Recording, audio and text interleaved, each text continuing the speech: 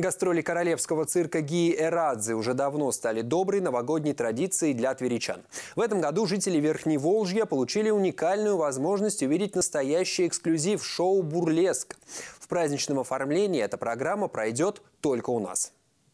Шоу «Бурлеск» создано на основе номеров, завоевавших главную цирковую награду мира – «Золотого клоуна» Международного фестиваля в Монте-Карло.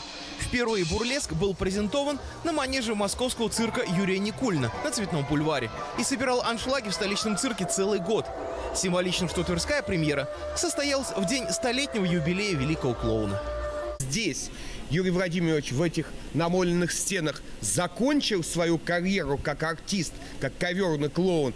И начинал он свою деятельность здесь, в Твери, только в старом цирке. Без всякого преувеличения, премьерные спектакли шоу «Бурлеск» произвели огромное впечатление на тверскую публику.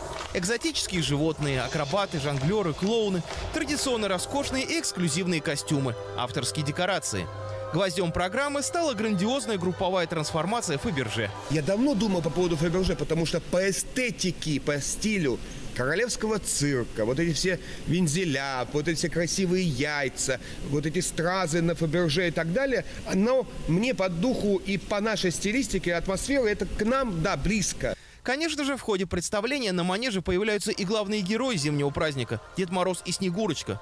Новое новогоднее шоу с участием ведущих артистов Королевского цирка Гии и Радзе и компании «Росгосцирк» можно будет увидеть только по 16 января.